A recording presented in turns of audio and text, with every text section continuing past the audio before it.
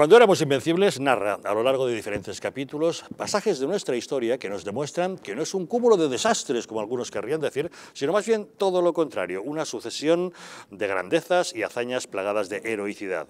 Así entendemos 400 años de imperio español, un legado que todos deberíamos conocer y también defender. Porque estamos orgullosos de ser españoles, este es el libro que descubre a los héroes ocultos de nuestra historia, cuando éramos invencibles. Y le recordamos la pregunta que les estamos formulando esta noche, ¿debería algunos diputados socialistas haberse saltado la disciplina de voto para impedir la investidura de Sánchez? Si creen que no, 905 80 81 40. Si creen que sí, 905 80 81 41. Pero hemos tenido otros protagonistas a lo largo del debate. Por ejemplo, el diputado de Teruel existe. Este señor, Tomás Guitarte, ha asegurado a su llegada al Congreso de los Diputados que ya están denunciadas las presiones y amenazas que ha recibido en los últimos días por anunciar su voto favorable a la investidura de Pedro Sánchez. Aquí que estamos siendo sometidos a una presión tremenda desde los medios, desde las redes sociales, incluso esta mañana mismo, llenando de pintadas mi pueblo, mi comarca, mi región. El representante de la plataforma turolense ha reafirmado su sí a la candidatura de Pedro Sánchez, según ha publicado el diario La Razón, porque ha sacado una buena tajada de su apoyo.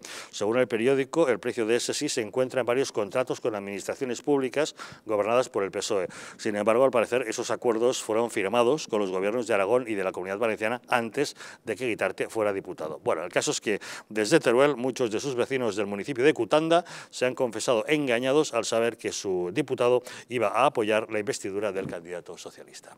Y antes Trejo te interrumpido justamente cuando querías hablar de Teruel Existe. Sí, ¿no? más que nada, estaba comentando que el señor este, Guitarte, o más bien el arte de la guita, de cómo hacer guita, eh, es un submarino totalmente que le han colado que han colado aquí en el, en el, Congreso, ¿no? y lo ha colado directamente al Partido Popular. ¿Por qué? Porque es un señor que tiene su domicilio personal en Valencia, a una hora de Teruel. Es un señor que está empadronado en Teruel dos meses antes de las, de las elecciones generales y, además es un señor que tiene una, una, oficina de 700 metros cuadrados en una determinada zona de Valencia, en la cual la tiene alquilada a una agencia de la Generalidad que preside el corrupto de Chimo.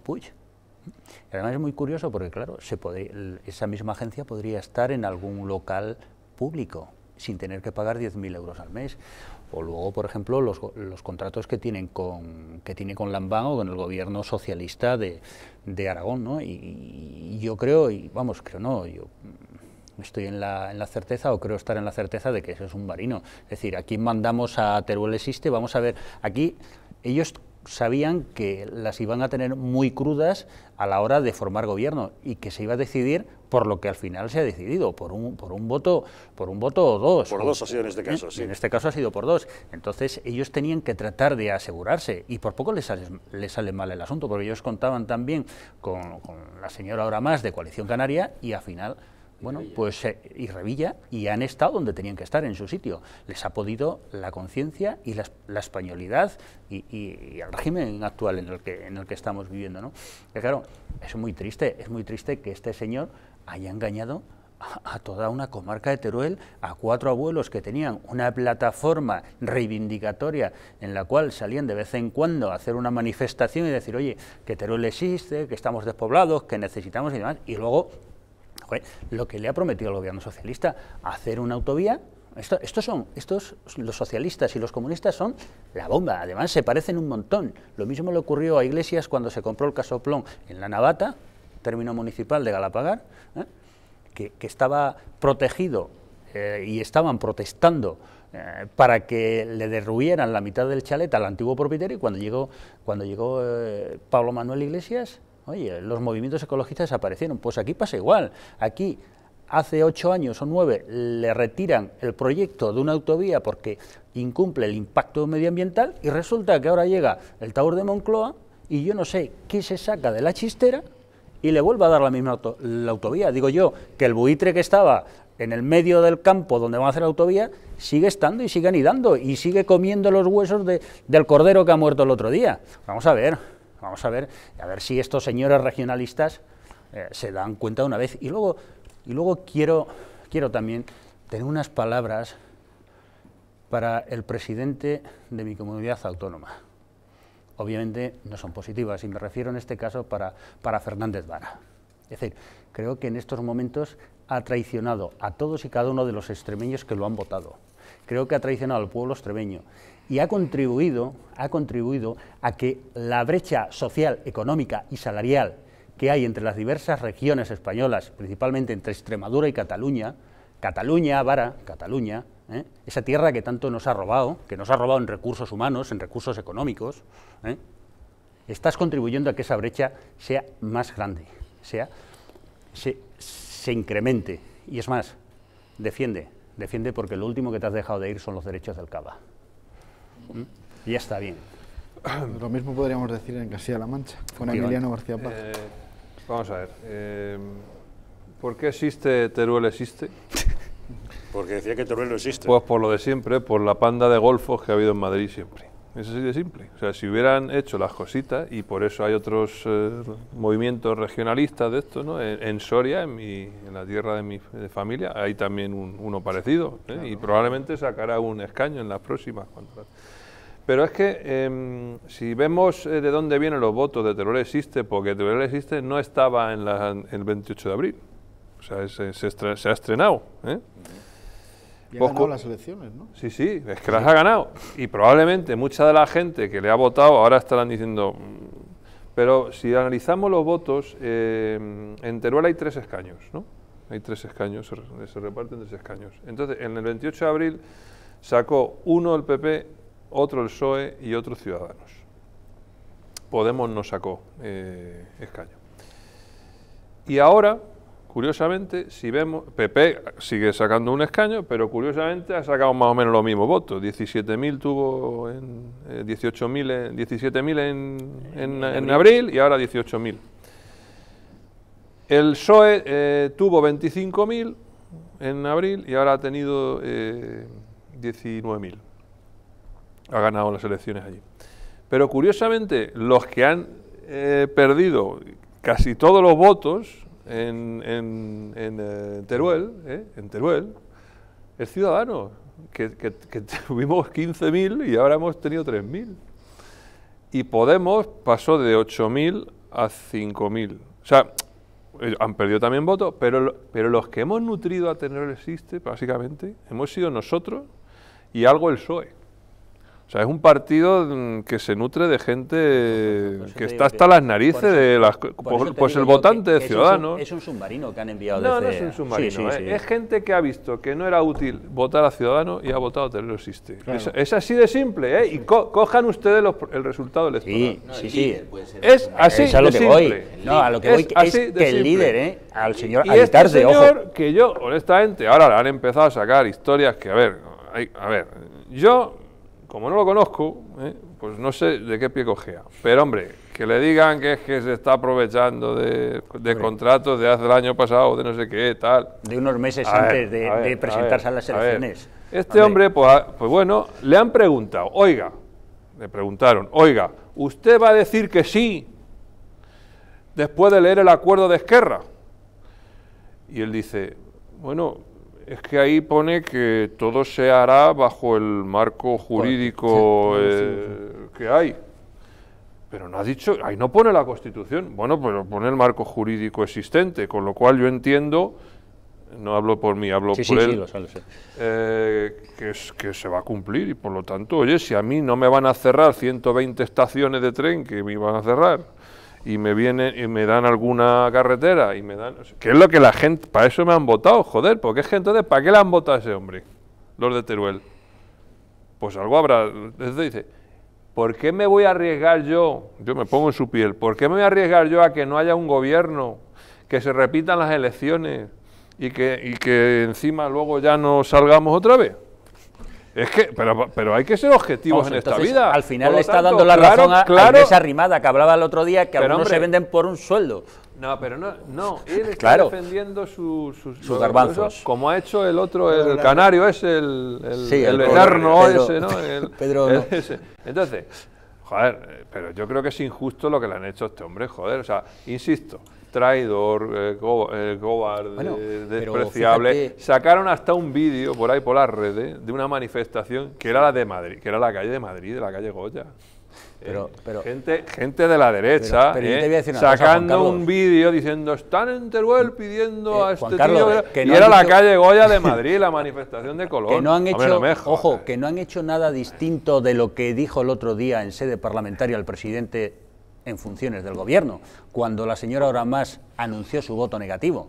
Le dijo, eso no es así, ya veremos lo que hacemos con su partido y con Canarias. Ojo, que el primero que empezó y en sede parlamentaria fue el presidente en funciones. Pero bueno, ¿eh? eso es una concepción también de lo que estábamos hablando antes, una concepción de, de, efectivamente lo que se ha hecho en Madrid con los separatistas y con los nacionalistas, de estar cediendo, que al final llegan los de Teruel, efectivamente surge una plataforma y dice, bueno, aquí unos y otros, nosotros somos leales a España, como el, como el, dibujo ese de Mingote que aparece en unos, ¿nos va a dar alguien dinero por seguir siendo españoles? Y aparece una, una manifestación al lado, independencia, y una señora regándoles de dinero, ¿no? Es decir, aquí en España los leales eh, a España, como ha podido ser la provincia de Teruel, estaban olvidados, ¿no? Y, y otra, eh, Extremadura, que estás hablando de Extremadura, los trenes de Extremadura, eh, Castilla-La Mancha, Andalucía y tal.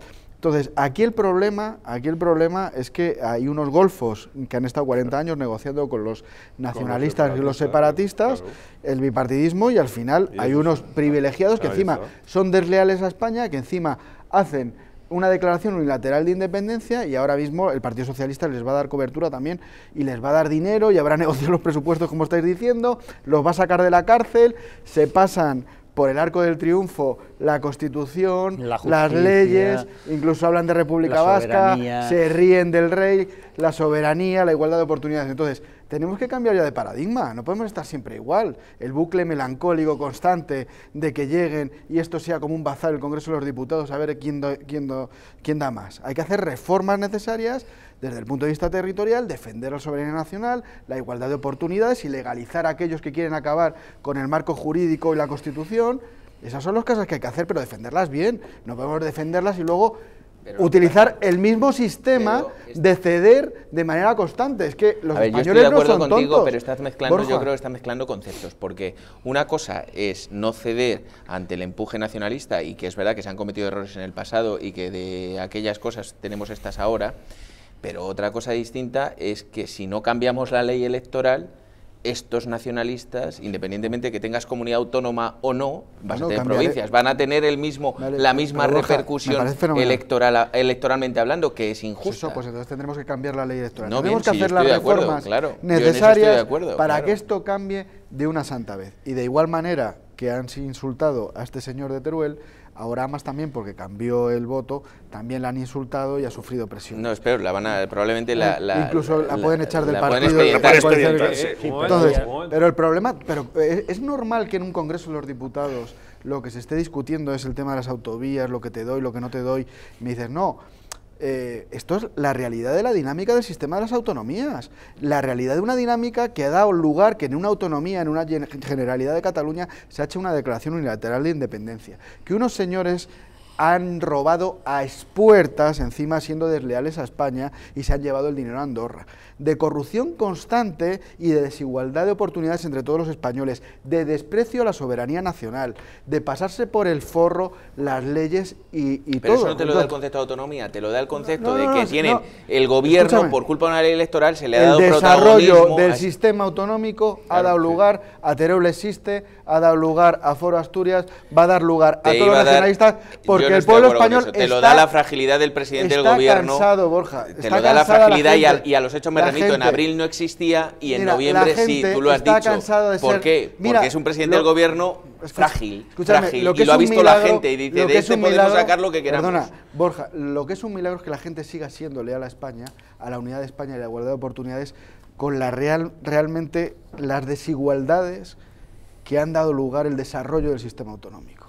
Y aún así la gente sigue defendiendo que se fortalezca esa nación española que dé igualdad de oportunidades a todos los españoles. Pero es que los políticos al final ocurre lo que ha pasado con Pedro Sánchez. Es que tenemos ahora mismo hasta legitimados a los mm, defensores de la ETA, que también van a luchar seguramente por tener una partida en los presupuestos, como Aitor Esteban y el PNV, que llevan llevándose el dinero a expuertas desde hace 40 años. ¿eh? Y los de Convergencia y Unión que ahora han cambiado de nombre y, el, y ahora votan en contra, pues, pues efectivamente, porque a lo mejor ahora lo que quieren es que Esquerra Republicana ocupe esa posición que ha ocupado Convergencia y Unión en ese bipartidismo concebido No, para que... vienen unas elecciones catalanas, entre otras Bueno, cosas. hay una, sí, pero que ahora a lo mejor dicen Convergencia y Unión ya, eh, estos ya no nos valen, vamos a utilizar a Esquerra Republicana de comodín y al PNV, ¿vale? Porque ya Convergencia y Unión, con la corrupción mm, repugnante de la familia mafiosa esta de los Puyol, que encima se van a ir de rositas, pues vamos a cambiar ahora por Esquerra. Pues ese- Por- ese- hay que cambiar las cosas de una vez y defender las cosas clarísimamente eh, por una, un Sí, sistema pero, tener, unitario pero en tener España. claro la diferencia. Es decir, o cambiamos la ley electoral o ya puedes quitar autonomías. Como si quieres poner, plantar pinos por toda pero Vamos España. a cambiarla.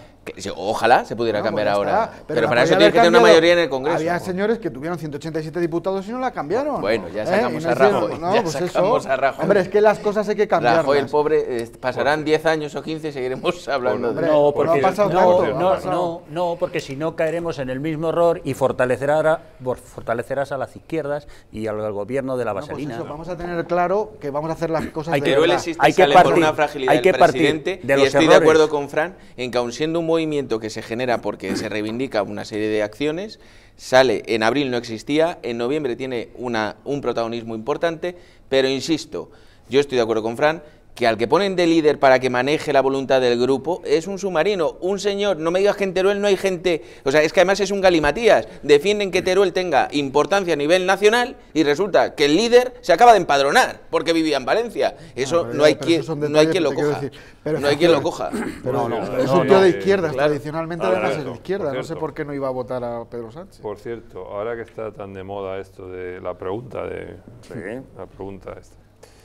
La semana pasada en el Parlamento de Asturias se, aprobaron unos presupuestos. Y ahí eh, una representante de mi partido, Sí, sí. que había negociado ya con el PSOE, además el, el partido le había dicho negocia, una abstención de esa. Es que eso de la abstención no tenía que existir, pero bueno, existe. Y la mujer, pues, negoció allí sus cosas y se apro- va, a votar que sí. Y la llaman como el teléfono este del gobernador de... cuando- ¿no? El del, el del patíbulo. Sí, sí, en el último momento antes de ejecutar al reo. ¿Qué pasa? El teléfono rojo. Tienes que votar en contra. Pero ¿cómo que voy a votar en contra? Si mañana es el pleno. No, no, si ya esto ya no hemos- Tienes que votar en contra. Órdenes del partido. Bueno, pues eh, como esta compañera, o ya creo que es, es excompañera, no estoy seguro, tiene donde caerse muerta, ¿eh? porque es catedrática, o de- bueno, es una académica y tal, y se metió en la política por decencia, dijo, pues, pero señor, o sea, es que la dignidad está por encima de todo. Y ella eh, se abstuvo, los presupuestos salieron, y al minuto siguiente Se la entregó fumigaron. el ac- no, no, entregó el acta y se Sí. largó. Pero es que ahora el que viene detrás, que le tocaría entrar, ha dicho que, que pase el siguiente. O sea, fijaros cómo está la cosa en, Que le da la en risa. partido. Vamos. Y Rufián dijo una cosa que a mí me llamó la atención. Dijo, dijo, dijo, España, ¿de qué sirve una bandera y una patria si maltratas a tu pueblo? Dijo. Y le dije, hombre, majete, no seréis vosotros que lleváis ya gobernando unos cuantos años y cada vez en, en- en Cataluña los derechos y, y- y la pobreza cada vez es más evidente. Pero también dijo una cosa buena, dijo, eso de España nos roba es una mentira. Eso se ha utilizado como arma arrojadiza. Es falso. España no nos roba. A mí España no me roba. Me roban los corruptos y los golfos. Los que, ¿no? Esos son los Puyoles, los eh, Bárcenas, los de los Eres. O sea, esos son los que nos roban. No nos roba España. Entonces, quiero decir que eso también lo dijo y, y realmente Se está haciendo de ciudadanos. eh, a lo mejor se está haciendo de ciudadano. Rufián, Rufián. Pero lo que te quiero decir es que eso. Que, hay que decir- que hay que también la- hay que esto. decir no es que hay que decir las cosas también las buenas y las malas Claro que sí. Pues ahora seguimos hablando de estos partidos minoritarios que son tan fundamentales a la hora de una votación como la de investidura. Vamos a hacer una pequeña pausa, pero antes les recordamos la pregunta que les estamos haciendo esta noche. ¿Deberían algunos diputados socialistas haber roto la disciplina de voto para no favorecer la investidura de Pedro Sánchez? Si creen que no, 905 80 81 40. Si creen que sí, 905 80 81 41. Ahora volvemos. Por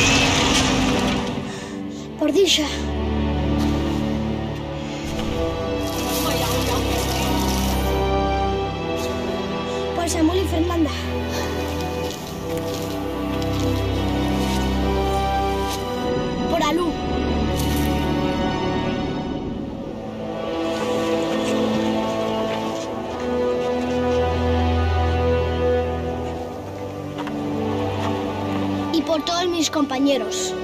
Esto no es un juego de niños.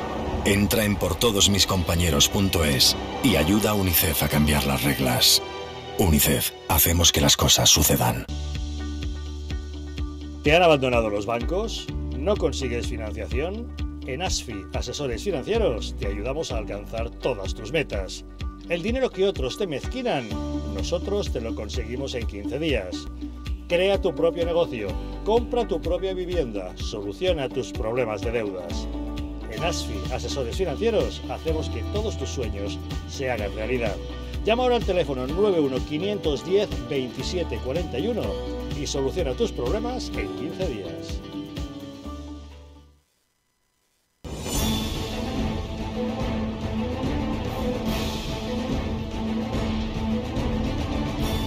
Si la España nación de naciones va a llegar. Visca Catalunya, lliure i soberana. Diré que yo soy el endacari más peligroso para sus intereses. Independiente en forma de república. Todos estos que acaban de ver hablan mucho, muchísimo, posiblemente hasta demasiado en el resto de canales. Y se les hace una crítica, pero pequeñita. Aquí va a ser al revés, en Distrito TV va a ser al revés. Aquí ellos van a poder hablar, por supuesto, pero la crítica va a ser mucha, muchísima, va a ser tremenda. ¡Hala! Con España cuesta, todos los domingos de 10 a 12.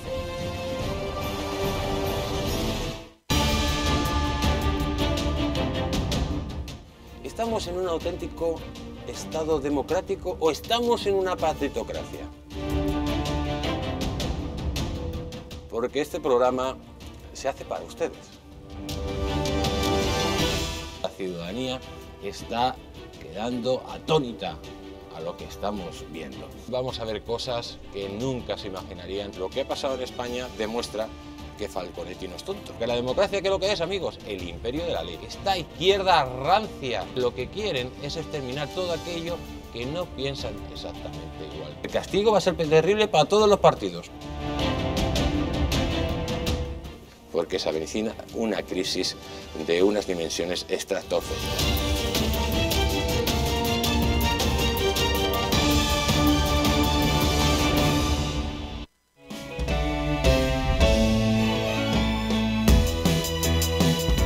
En el Distrito Televisión, La Luz Oriental, obra cinematográfica, se transmitirá en los lunes, martes y domingos a las 16.30 horas.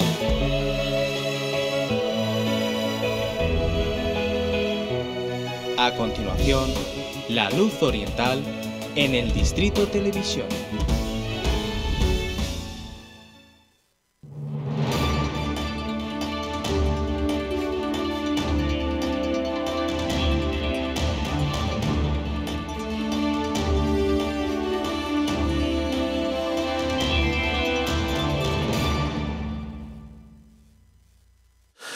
Debemos darle las gracias a todos ustedes porque este sábado y este domingo hemos sido tendencia en YouTube. Han sido muchos los amigos que han preferido seguir el debate de investidura a través de Distrito Televisión, con lo cual se lo agradecemos. Y hoy les estamos haciendo una pregunta. ¿Deberían algunos diputados socialistas haberse saltado la disciplina de voto para no facilitar la investidura de Pedro Sánchez? Si ustedes creen que no, 905 80 81 40 y si creen que sí, 905 80 81 41. La verdad es que hace un momento hablábamos del voto de Teruel. Sí, existe y ha sido fundamental para esta investidura, pero no ha sido el único. También han resultado fundamentales otros partidos minoritarios, como el PNV, el BNG, Nueva Canarias o Compromís.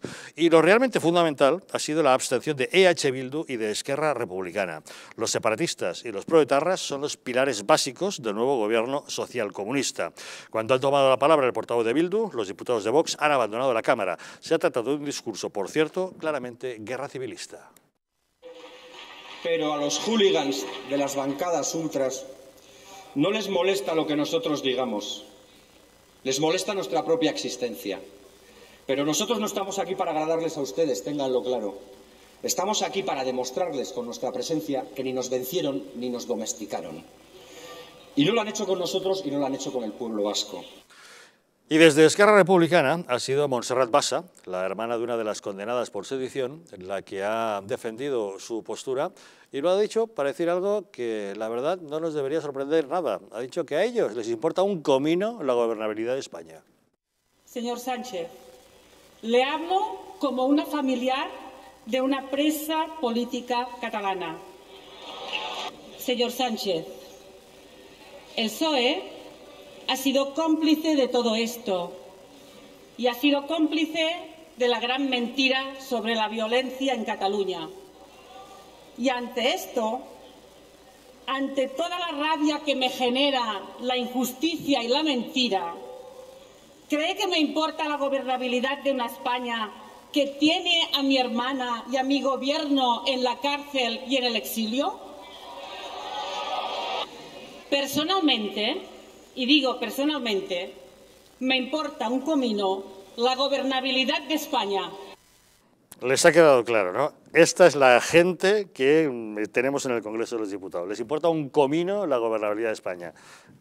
¿Qué, hacen ahí? Es mucho peor. Es que está la gente que apoya al actual presidente del gobierno, que es un socio de camino, porque aunque no esté dentro eh, del, equipo de gobierno como tal, pero desde luego sin su apoyo, y el de los presupuestos, que insisto va a ser más dramático. Un comino, importante un comino. Claro, pues esto lo, cual se apoyan es por otros motivos. Pero insisto, yo creo que ella lo ha dicho públicamente. Creo que España también le importa un comino al nuestro presidente del gobierno. Si no, no habría hecho lo que ha hecho y lo que va a hacer, porque lo que va a hacer está peor está por venir y por ver, pero creo que va a ser peor que lo que hemos visto hasta ahora. Bueno, si le importa un comino, ¿para qué te presentas a las elecciones? ¿Eh? Porque claro... Para retorcer la ley a favor de otros intereses. Claro, entonces Tú, lo, tú, lo, que quieres es lo de la consultita esa, ¿eh? el panfletito ese. Pero es que, es que Sánchez te ha tomado el pelo a ti y a tu familiar eh, política presa. ¿eh? Os ha tomado el pelo, porque no va a cumplir nada de lo que pone ahí. Exacto. Que te quede claro. Y si te importa un comino la gobernabilidad de España, repito, deja el acta ¿eh? y no te presentes, no hagas aquí paripés. Y olvídate, porque aquí ni va a haber secesión, ni va a haber república, ni va a haber nada que se le parezca. Hombre, escuchar a Juan Carlos Así, me, la verdad que me da muchas esperanzas y las mismas que nos infundía Ricardo, ¿no? Para, para, poder afrontar este tiempo que se nos viene, ¿no? Pero hay que recordarle a esta buena señora que su hermana, si está en la cárcel, es porque ha violentado la ley. Es decir, que a su hermana no la ha metido ningún Estado en la cárcel, no la ha metido ningún gobierno, ni la ha metido nada por el estilo. Le ha metido el incumplimiento de la ley, el ir contra la Constitución. Y, y yo coincido coincido plenamente con Juan Carlos, ¿no? Oye, si realmente España te importa muy poco, pues deja tú a este diputado y te marchas de te marchas de España, es decir, dejas Cataluña, porque Cataluña, mal que Sánchez te haya dicho que va a hacer allí una consulta, un referéndum, que no se puede hacer, salvo que sea, que ahí es donde está el subterfugio, salvo que sea el referéndum de un nuevo estatuto, y entonces solamente voten los catalanes sobre ese estatuto, ¿eh? pues márchate de Cataluña, porque Cataluña es España y lo mismo es tuya que mía y de estos señores que están aquí. Claro, les, importa, les importa un comino la gobernabilidad de España porque no creen en la soberanía nacional, no creen en la Constitución y no creen absolutamente en nada, ¿no? Entonces, bueno, pues esta gente pues simplemente están también por interés y me imagino que estarán escenificando de algunas posibles eh, elecciones que haya en Cataluña. Cataluña pues, seguro, tienen que convocar y adelantar Pues entonces ellos, seguro. después de haber apoyado a Pedro Sánchez, que al fin y al cabo es del Partido Socialista, y a esta gente, a su familiar lo han metido en la cárcel mientras estaba de presidente en funciones Pedro Sánchez, ¿no? Porque la sentencia, la sentencia ha salido cuando estaba de presidente Pedro Sánchez. Entonces tendrán que escenificar de alguna manera pues esta cuestión y a ver qué es lo que han negociado para los temas de los indultos y todo esto pero efectivamente son gente que no cree en la soberanía, ni este ni el de eh, R, bueno, EH Bildu, que antes era R. Batasuna. ¿eh? Y, bueno, este ya ha dicho que ni nos vencimos, o sea, todo este argumento también de que ETA está vencida por parte del PSOE, que fue Rubalcaba y tal, ya le ha dicho directamente Matute, oye, no, no, nosotros hemos dejado las armas por interés en un momento dado, pero seguimos gobernando los ayuntamientos, en comunidades autónomas, seguimos con los objetivos clarísimos de lucha eh, a Berchale por una república vasca independiente y dejar, podéis engañar a la gente del pueblo español este que despreciamos y tal, diciendo que hemos acabado con la ETA, pero la ETA sigue ahí. Tenemos a nuestro portavoz Otegui eh, diciendo lo que tenemos que hacer y se lo ha dicho claramente su socio abstencionista, que incluso era su seguro para, para, que saliera presidente, que les había dicho, no, votamos a favor en el caso de que haya algún diputado socialista que de pronto vea la luz y quiera votar en contra de Pedro Sánchez. Pues, lo, pues esta es la gente que, que, va, que vamos a tener que sufrir estos cuatro años con una legitimidad que le da Batet, que le da Pedro Sánchez, que le da este Partido Socialista de Guiguren también, que ya se lo dio hace mucho tiempo. Es decir, eso es la propia cena. evolución. ¿eh? Sí la cena con Bildu, la cena, la cena tal, Bildu, su están gobernando en Navarra también, ¿no? claro, por eso sí, sí. desde el primer momento, por, eh, precisamente el hecho de Navarra fue el que a mí particularmente me abrió los ojos de cara a saber que jamás Pedro Sánchez iba a ir de la mano de, un, de los partidos que realmente defienden la soberanía nacional. ¿Por qué? Porque no quiere romper su pacto en Navarra con Bildu. Es más, no reconoce su pacto en Navarra con Bildu ahora que han cerrado presupuestos, lo cual es todavía mucho más dramático. Esto de esta señora hoy aquí de Esquerra Republicana ha sido pues un paripé, pero un paripé basado única y exclusivamente, que no te quepa la menor duda, en las elecciones catalanas. Claro, Tienen que convocarlas por la resolución de la Junta Electoral, adelantarlas y Esquerra Republicana lo que pretende es tener por primera vez en la historia un presidente de Esquerra Republicana en la, en la Generalitat. Con el, con el bueno, apoyo del Partido Socialista claro, de con el apoyo del Partido Socialista. Este acuerdo está también ya cerrado. Mm, Estoy convencido. Sí, sí, no, eso, bueno, eso está, fíjate, eso es está en lo que no se lee. Si, claro. eso, si eso que todo apunta que puede ir por ahí los tiros, es decir, un cambio de tendencia de Esquerra, todo lo que suponga una ruptura entre los dos partidos independentistas, porque Eso, tú defines que el PSC no va a ser, no defiende ese independentismo, ¿no? No. Es que yo defiendo no. que el PSC, el PSC y Z no, no, es casi más independentista que Esquerra no, Republicana. No es que lo defienda, es que está. No, está. Hombre, no, no es que tienes que ver a Batet. Yo intento ser objetivo. A día de hoy, todo lo que suponga es que yo no sé quién va a gobernar el PSC dentro de unos tres o cuatro años. Es que no lo vas sé. Tú, yo sé por dónde vas. Lo que te quiero decir es que todo lo que suponga hoy una ruptura y una eh, confrontación entre los dos partidos independentistas, eso es positivo, es positivo para España. Eh, fíjate lo que acuerdo, te estoy diciendo. Estoy de acuerdo ¿eh? contigo. Es decir, si, si Sánchez ha sido capaz de convencer a Esquerra de que se separe de Convergencia para, los, para un futuro presidente de Esquerra, Presi, próximo o lo que en sea, un par de años. si ha sido capaz de, de llevárselo a ese huerto Yo creo y que separarse eso, eso, Eso si ha sido el tripartito, así, el tripartito. eso, es- eso es positivo por- para. España, insisto.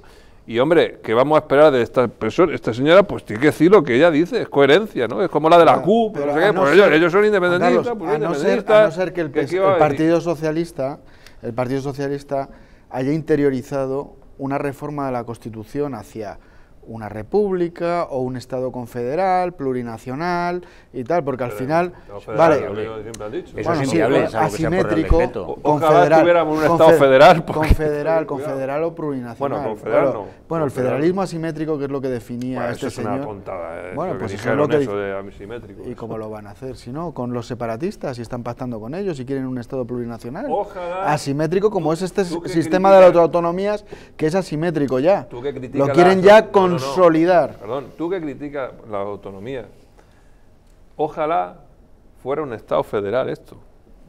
y no el autonómico que tenemos, porque es que no, no hay ningún Estado federal en el mundo mundial que, la- que, esos, que esas federaciones tengan más poder que nuestras autonomías. pues eso es un ¿Sabes lo que te quiero decir? Sí, lo que pasa es que en ojalá- España hay una sensibilidad completamente fuera. distinta porque va vinculado que en España un Estado federal eh, directamente destruiría el concepto de país. pero que eso en es- Estados pero Unidos no pasa Unidos porque en es España es el único federal. país de- Bueno, civilizado España- en el que tenemos una izquierda que no cree en la unidad de su país. Es el único país civilizado que yo conozco. España siempre ha Hombre, sido un no país, es- vamos no a ver. es decir eso tampoco. Bueno, es que decir- Estado federal significa eh, que España hubiera estado desunida, que hubiera habido federaciones, como hubo en Alemania, como hubo en Estados No, Unidos, eh. hubiera estado, y luego los federas, los unes, en un Pero- nuevo Estado. Pero es que España no tiene esa tradición porque no ha habido Estados independientes, es falso. Todo esto que Eh, dicen ha los habido- separatistas. Ha habido Estados independientes. ¿Qué en Estados España. independientes? ¿Dentro de España? Ha habido reinos. Ah, no, ha habido ah, reinos ah, que bueno, se han convertido. eso no es que- Estado. Bueno, pero es un.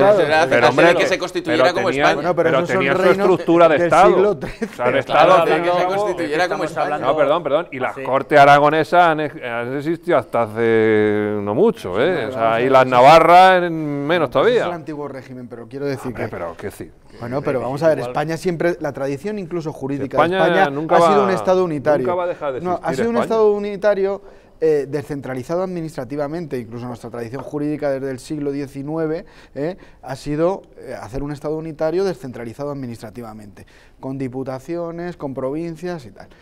Eh, todo eso que me estás hablando del antiguo régimen y hacerlo compatible con un Estado federal nuevo que está diciendo un federalismo asimétrico que dicen los socialistas, a mí me parece una locura. Lo que pasa es que, claro, como bien dices, el sistema autonómico no tiene freno competencial. Entonces ha habido un desarrollo Claro, es autonómico peor, claro. que es una locura, sí que, que ha sido peor que un Estado federal, no, claro. No, no, no, pero eh, es que hay el factor emocional, una cantonización de España en, en, eh, en federaciones, lo único que incurriría ya es una destrucción, una implosión del propio concepto de país. Pero es el No, que eso no, no, pasa te equivocas, porque el sistema, el sistema autonómico, si no tiene un control, como tiene un Estado federal... Sí, pero tiene un ¿sabes? vínculo emotivo. Es que yo, bueno, un vínculo emotivo quiero decir que el Claro. sistema autonómico, su propio desarrollo ha dado lugar a una declaración unilateral de independencia en Cataluña, un robo masivo de gente utilizando no, las no el instituciones autonómico, sido- autonómicas. cosas, el estatuto, eh, Oye, el- ver, empezamos con que el sido estatuto que sistema dijo... autonómico y el desarrollo de manera paralela de instituciones a nivel de hacienda propia, a nivel- eso lo ha utilizado todo con los fondos autonómicos. Claro, el problema ha sido Ah. el destino de los fondos autonómicos, claro. pero claro, Pero eso no quiere decir que el no, pero no quiere decir por el parte de los diferentes gobiernos. que unas cesiones que no debía haber habido. Por ejemplo, unas cesiones, pero eso no es culpa del Estado autonómico. Vamos a ver, el Estado Porque no ha Extremadura controlado. podía haberle pasado lo mismo. O sea, eh, ha gobernado el PSOE un montón de años y podía haber destinado no mucho tiene el propio. Estado eh, eh, herramientas de control efectivas. No, la inspección del Estado no ha estado en Cataluña, no ha habido un control. O sea que un Estado federal no jurídicamente tiene mayor, mayor eso es culpa control. de la dejación de funciones. Vara, Vara también ha negociado su tren Ya, para, que los, para ya, que los diputados claro. socialistas votaran a Lo que pasa es que no pide la independencia. Sí, sí, había, había- no había pide la un- un diputado claro. del No, Partido por eso, pero Socialista por Cáceres que estaba haciendo chufas del tren. No, Dice, pero no, no, me voy corriendo y voy a mí- coger el tren. A mí Ya no me asusta un. Estado federal, no me asusta un Estado federal, tampoco me asusta una república, ¿eh? tampoco me asusta, te lo digo así de claro, pero eh, porque además hay Una modelos... república hay, la francesa unitaria. hay modelos, sí, ¿por O qué no? federal. No, no, ¿por qué no? O, Es que o yo- una yo república no alemana o una Porque república vamos, porque vamos a cambiar de modelo de ¿qué Estado quiero si este funciona. Si este funciona y el rey es una funciona, fi- figura. funciona, funciona. eh, sí, sí, como pero jefe tú, del Estado, tú- tú cambias al rey por un presidente, por un presidente de la República. Bueno, este Creo, creo que ya os estáis yendo por bosques ajenos al debate que teníamos hoy planteado. Vamos a ir cerrando la encuesta que les proponíamos esta noche. Les preguntábamos si ustedes creen que algunos diputados socialistas deberían haberse saltado de la disciplina de voto para evitar la investidura de Sánchez y a estas horas han contestado que sí, un 67%, que no un 33%. Les dejamos los teléfonos abiertos por si desean seguir votando. Don Ricardo Chamorro, muchas gracias por habernos acompañado. Un placer, un placer estar en con este vosotros primer y programa del año. Gracias por haber estado con nosotros. Gracias, Juan Carlos Bermejo. Un placer, Y muchas ya nos tendrá al corriente de qué pasa con Ciudadanos, ¿eh? Por supuesto. Porque esta, esta Esta primavera, primavera va a ser importante, va a ser movida. Calentita, sí, sí. Borja Gutiérrez, gracias por haber estado con nosotros. Encantado, placer. Y gracias, Fran Trejo, por Gracias, acompañarnos. como. Gracias también a todos ustedes por estar con nosotros. No se vayan, ahora les dejamos con la película y nosotros, ya saben, les esperamos mañana nuevamente aquí, en Los Intocables.